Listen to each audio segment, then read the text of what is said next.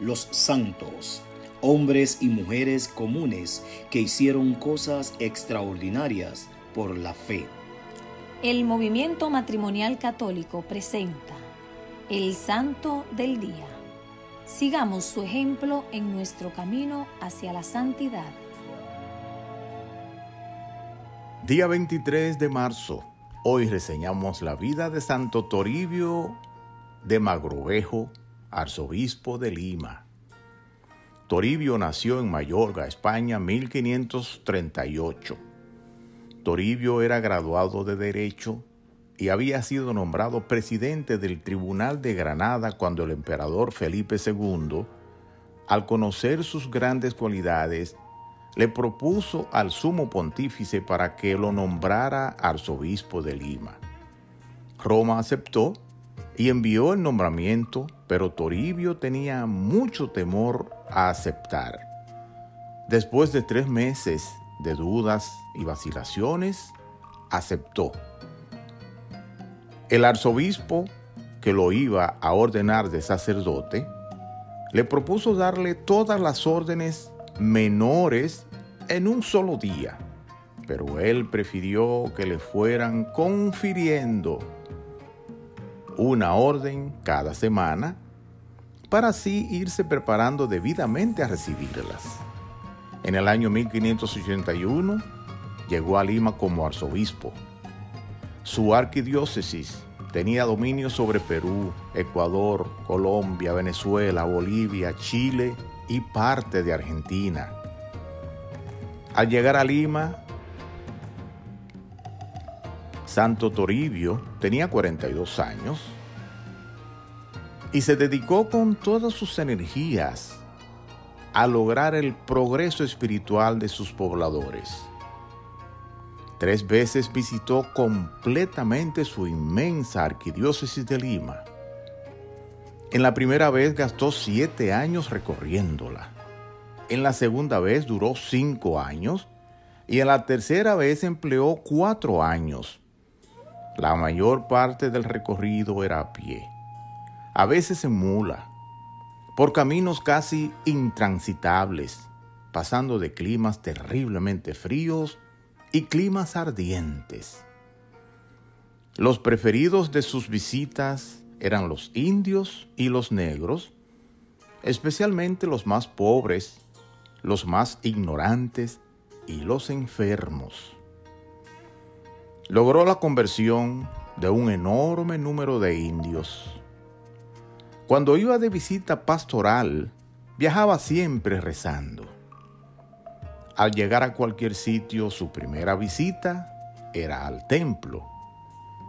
Celebraba la misa con gran fervor y varias veces vieron los acompañantes que mientras rezaba se le llenaba el rostro de resplandores.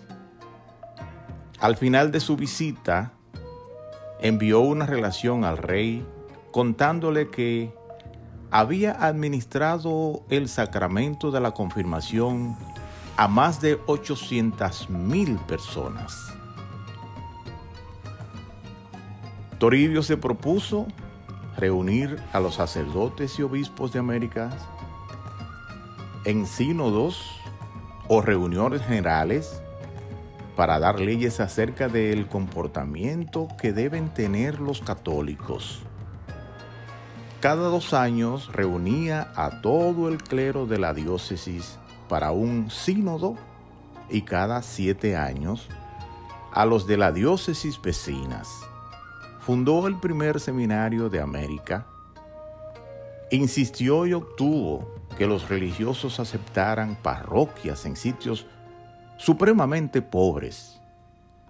Casi duplicó el número de parroquias o centros de evangelización en su arquidiócesis. Cuando él llegó, había 150 y cuando murió, ya existían 250 parroquias en su territorio su generosidad, lo llevaba a repartir a los pobres todo lo que poseía. Cuando llegó una terrible epidemia, gastó sus bienes en socorrer a los enfermos y él mismo recorrió las calles acompañándolo, acompañado de una gran multitud, llevando en sus manos un gran crucifijo y rezando con los ojos fijos en la cruz, pidiéndole a Dios misericordia y salud para todos. El 23 de marzo del año 1606, un jueves santo, murió en una capillita de los indios en una lejana región donde estaba predicando y confirmando a los indígenas. Las últimas palabras que dijo antes de morir fueron las del Salmo 30. En tus manos encomiendo mi espíritu. Santoribio tuvo el gusto de administrarle el sacramento de la confirmación a tres santos, Santa Rosa de Lima, San Francisco Solano y San Martín de Porres. El Papa Benedicto XIII lo declaró santo el 10 de diciembre del año 1726. Hoy mencionamos otros santos y son San José Oriol, San Atón de Ariano, Santa Rebeca de Himalaya, Beata Anunciata Cochetti y Beato Pedro de Gubbio. Oración Santo Toribio, tú que nos dejaste un ejemplo inigualable de amor por Cristo, por la iglesia y por las almas, y proclamaste el Evangelio con tu vida de santidad, más que con palabras. Intercede ante Dios por nuestras almas necesitadas de la gracia de Dios para seguir tu camino, siendo fieles al Evangelio, comenzando con nuestros corazones en relación con el Señor, en relación con nuestra familia y las personas más cercanas como también con aquellas que son solo observadoras de nuestros actos, que sepamos llevar el mensaje de Cristo. Ayúdanos en los momentos de oscuridad, de tribulaciones, reza con nosotros para que podamos dar una mejor respuesta con fe y esperanza en el Señor.